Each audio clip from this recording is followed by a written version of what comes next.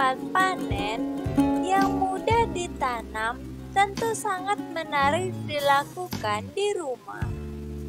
Apalagi berbagai sayuran tersebut nantinya bisa digunakan untuk konsumsi harian setelah panen.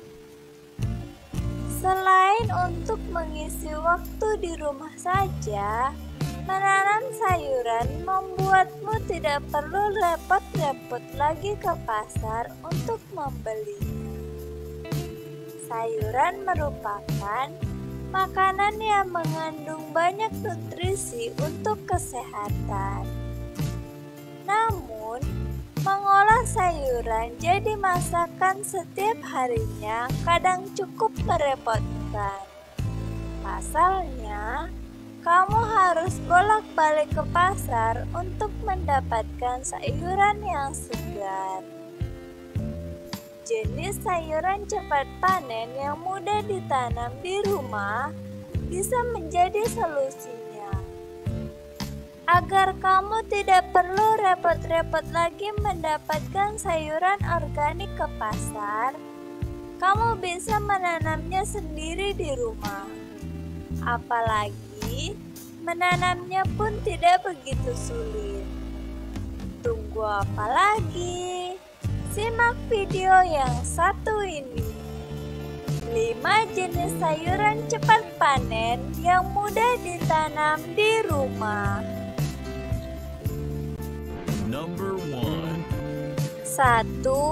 Bayam Jenis sayuran cepat panen yang mudah ditanam pertama adalah bayam. Tanaman bayam memiliki waktu yang relatif singkat untuk tumbuh dan dapat dipanen, yaitu sekitar 1 sampai satu setengah bulan. Bayam sendiri dapat ditanam sepanjang tahun, baik di dataran rendah maupun di dataran tinggi, yang juga area kebun atau pekarangan rumah. Waktu penanaman yang baik adalah saat awal musim hujan atau awal musim kemarau.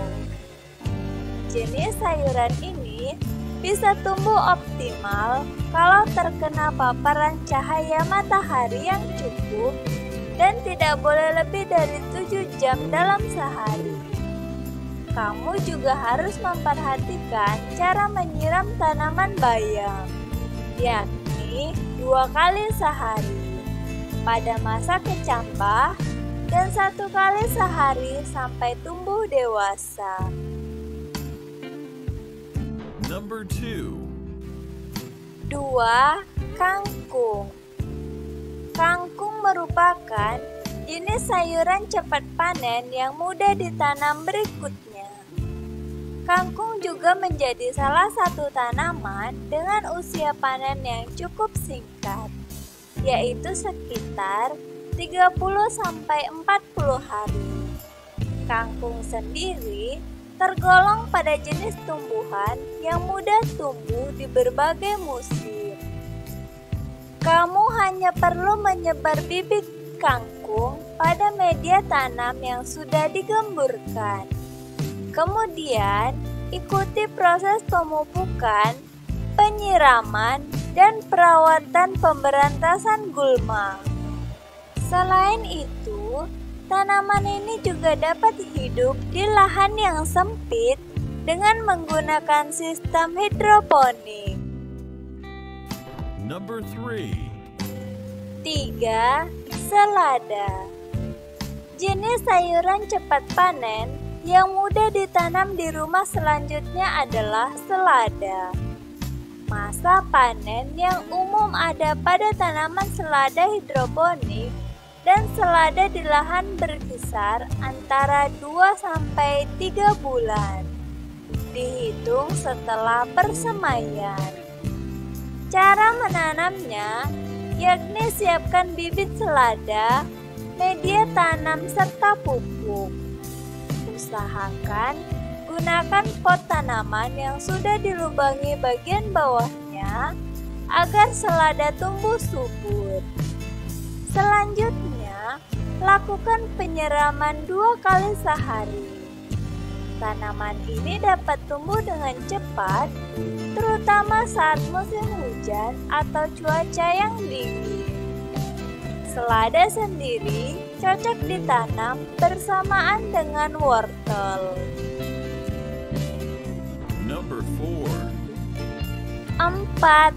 Sawi hijau Sawi hijau juga merupakan jenis sayuran cepat panen yang mudah ditanam. Umur panen sawi paling lama adalah 70 hari dan paling pendek adalah 40 hari.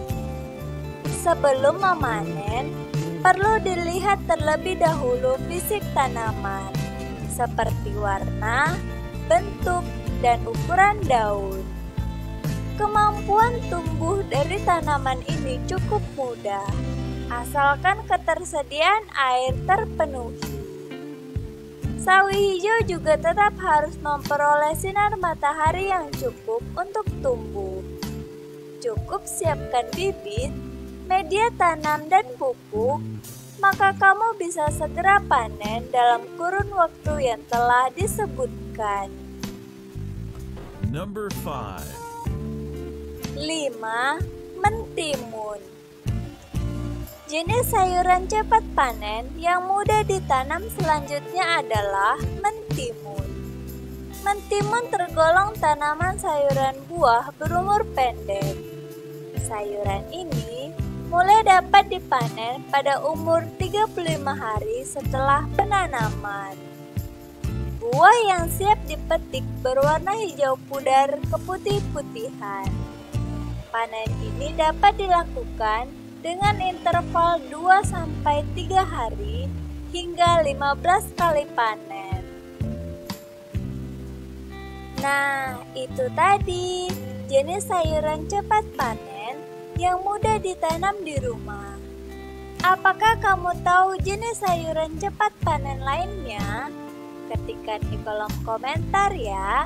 Dan jangan lupa like, subscribe, dan share juga channel ini ke semua media sosial kamu.